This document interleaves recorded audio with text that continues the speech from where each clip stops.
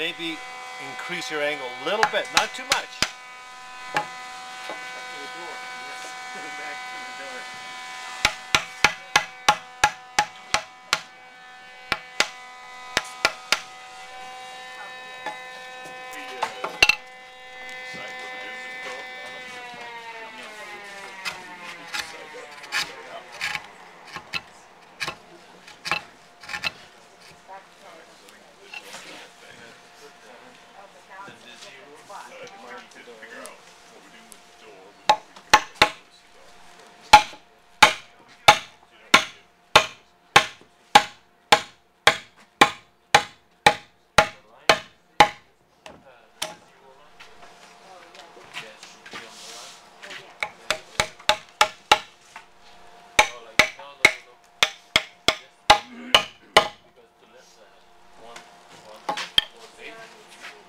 So that's enough for the ends for starting. So the the grain is going this way, this way. Can you see the crack in the wood right here? It tells you the grain is going this way. So start here, going this way. If you start chiseling here, it's gonna it's gonna come in. So study my hands. One hand up here. This hand is carefully guiding that in.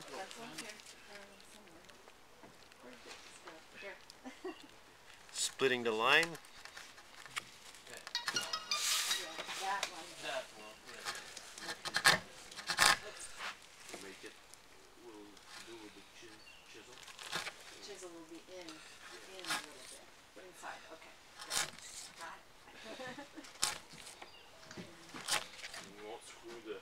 I wanna make sure that this side doesn't, I think it needs to go that way a little bit. Uh, just So we, we want to split that line.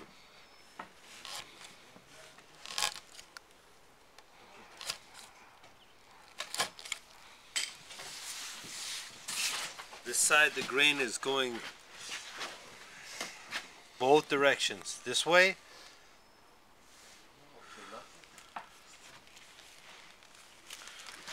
When in doubt, just begin with caution.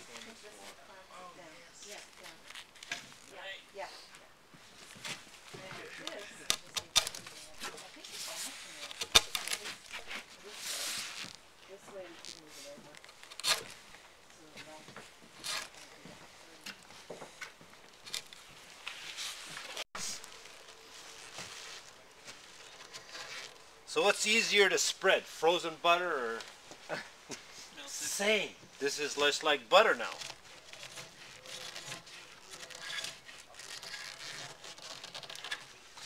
And that's the hardest wood to chisel is end grain. Okay? Yeah.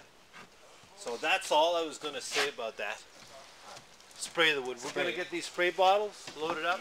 if you're having some challenges, just moisten the wood with a spray bottle. And it's like butter. Mm-hmm. That's what you do with hard oak. Spray it.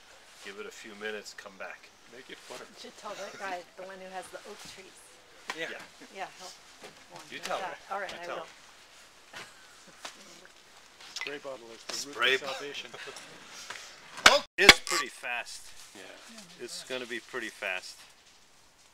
But you want a smaller chisel uh, for this. I will get jammed up here real fast. Who's, does anyone have a smaller chisel handy? Oh. yeah, yeah, yeah. You like the chisel. I like this chisel. I really like Joseph's chisel. chisel. Uh-huh. Yeah. We're both in love with Guinevere.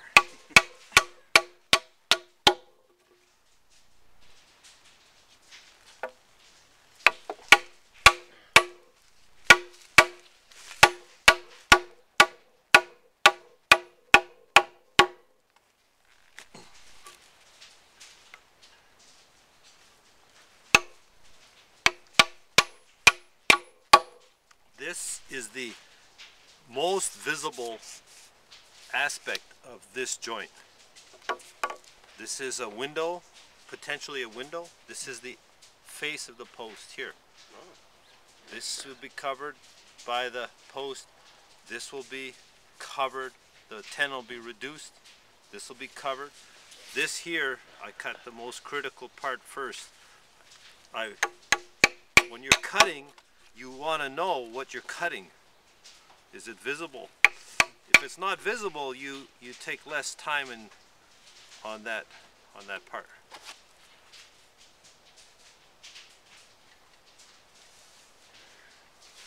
This area here, I'm going to say from my observations this morning, is where most of you need to pay a little more attention to what's called the crush factor. When I say the when I say the crush factor, when you're chiseling, you'll see over here, I'll demonstrate for you.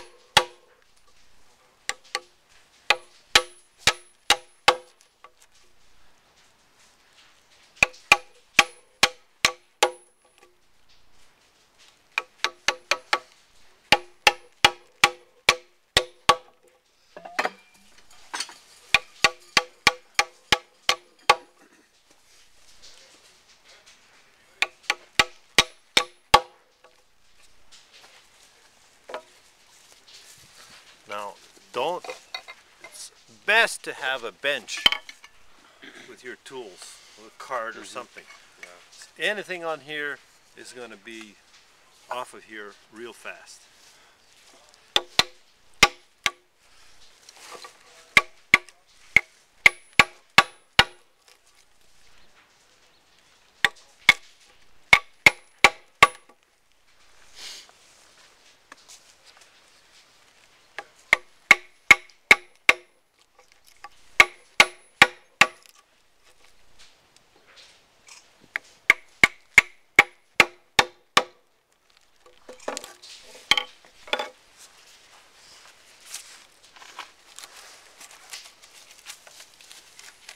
There are still timber framers in Japan today that do the entire mortise without any drill. It's just mallet chisel. That's all. They remove. Everything. Just just chisel and mallet. Just like they did initially.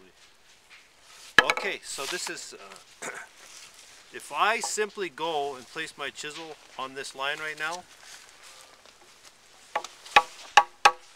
over here and I pound that the wedge the wedge shape of this design is going to force the chisel past that line.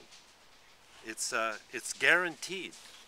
At the top or down below it? No, at the top.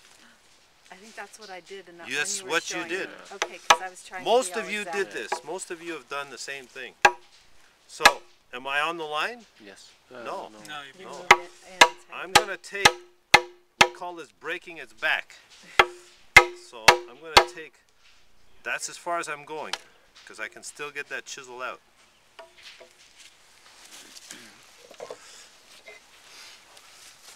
If I kept driving that chisel just now, it would fuse in there so tight that we would need to put a clamps and uh, some extraction device to get it out of there. With a chain. Yeah. Now that just started to dive, so stop.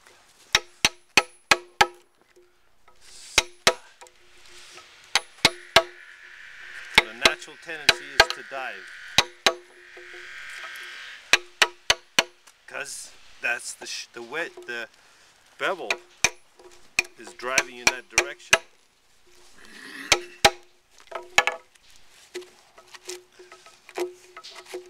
So also, also when you're cleaning out,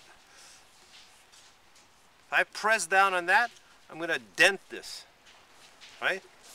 So this side's another story. It's more forgiving. So be aware of what you're working on.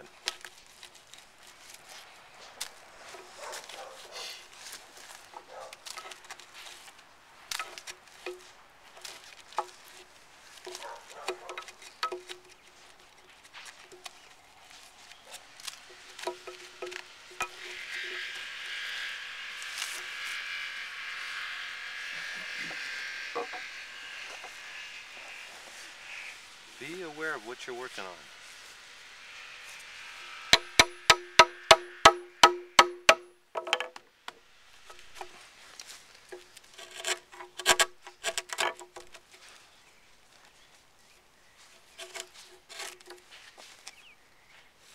So, back over, just need to open this up a little bit so I can get this wider chisel in here.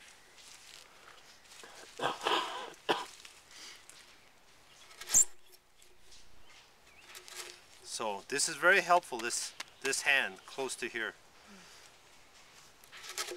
Very. Harder when you got two hands up here trying to do all this. Use this bottom hand as a guide. So split the line. Your chisel is sharp enough to split that line.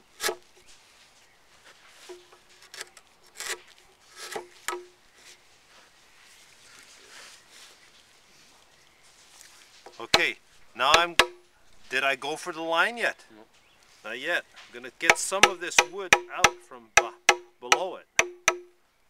So I actually went under it. Now, we go for the line.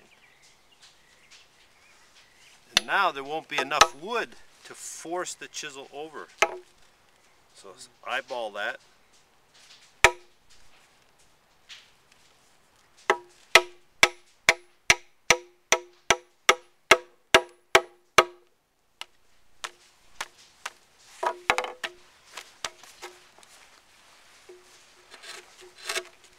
And the rest you know. Hmm. Okay? We'll just continue. Like that? Then that chip's flying, eh? You can't tell from there. If you look, if you, you can tell from where you are, Jonathan. Uh, yeah, it's gonna break off. Chiseling with the grain here. Yep. See these lines? Had I kept going, had it finished from that side, I'd be diving in here. So just flip it. Flip it.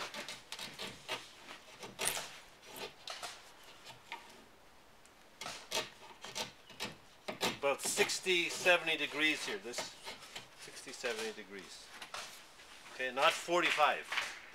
That's your feed. Why did we do this? Ease of entry. Ease of entry. Because if the pocket is exactly the same size, it's going to be fussy, eh? To get started. But this allows it quickly.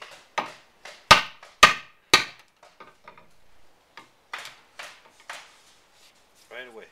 Right away, it finds its place and boom, starts. So on, the, on that side, you didn't need to cut it all the way across, right? That's our registration point. Right? Move for a second. See the blue tape? Yeah. That's our layout. We started our layout from here. Like this cut through. I mean, I guess it's below. I don't know what that was. Somebody started sawing it, or, or I'm not sure. Okay. So you have this line and this line. So it's simply a matter, simply a matter of connecting the two, the two planes.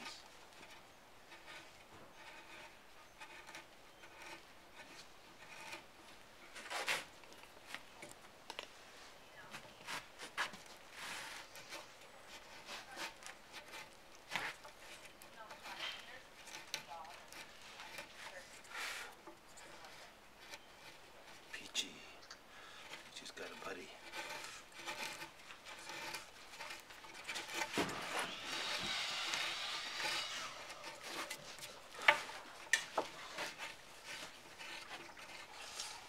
So, thumb pressing down, I'm getting some stability from below.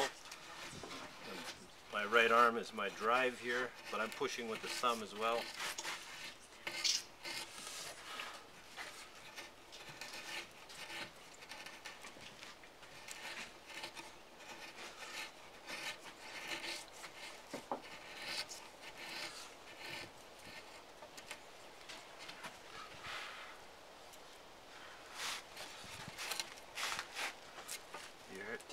sound just there? Mm -hmm.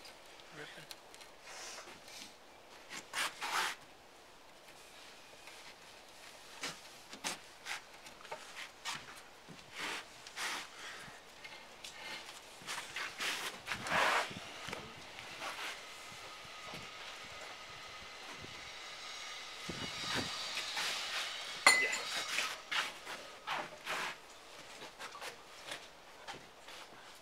So that grain's diving, you see? See how that's diving? See this? Look clear, closely, you'll see that fiber is going down. So you have to stop, come from, actually have to come from behind.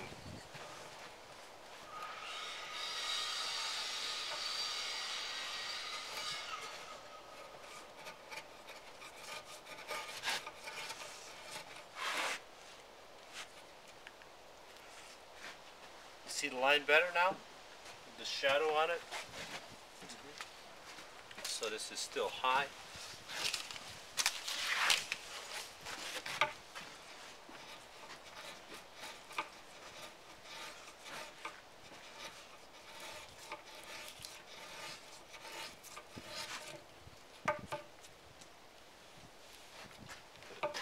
Just a little, just a little.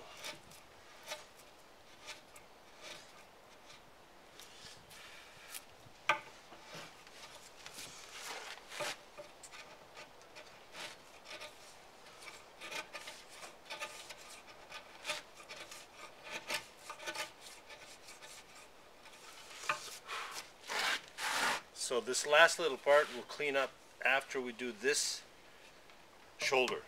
Okay? Cheeks, shoulder.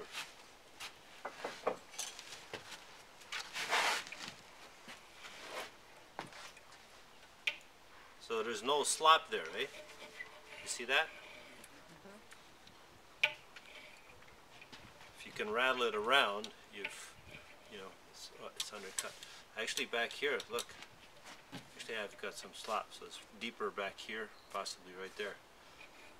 So this really is, is, done, it's actually finished. See that? Don't go over. That one's done. Might as well take care of take care of this one right now too. Take those off of there, please. Thanks.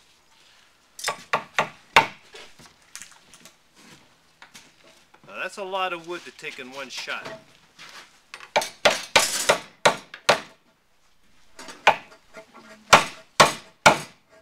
Now I'd run the risk of splitting a big chunk out of it. If I went for this whole piece of wood here, I went for this one because it wasn't so deep. Yeah. But this, thank you. This one here, the the wedge shape of the chisel is gonna push me past. Mm. So done. Same. 180 degrees. You fall, you you go with this system, and you'll have potentially perfect joint every time.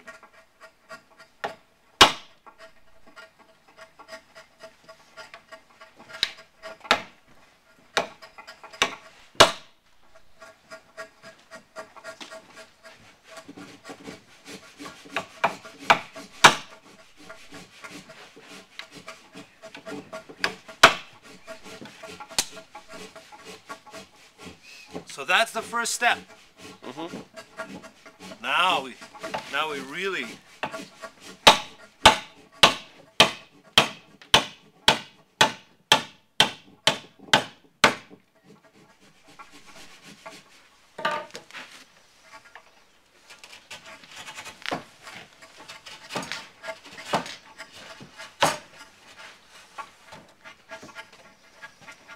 Sideburns.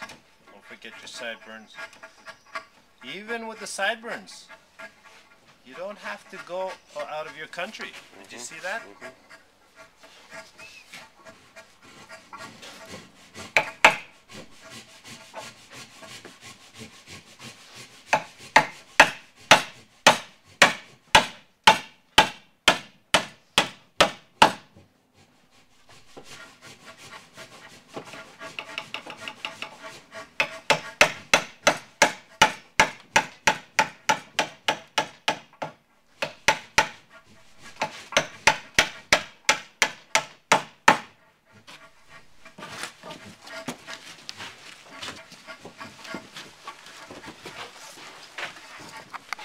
Sideburns. Stay inside the country. Wiggle that chisel. Wiggle the handle a little bit. That's what you call a close shave. So you leave that nice little ridge on there, yeah, on the edge. Leave a little ridge here. Copy Yeah, that. Yeah. Well, actually, we can clean that up a bit.